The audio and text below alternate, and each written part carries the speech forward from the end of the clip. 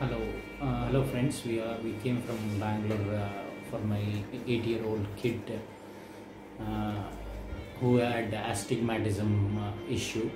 So I came uh, all the way driving from Bangalore uh, just to have consultation with Dr.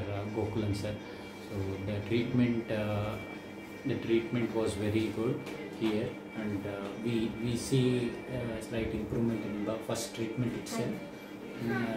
See a slight improvement and we, we are expecting more in, uh, in future uh, therapies and treatments that will be conducted here.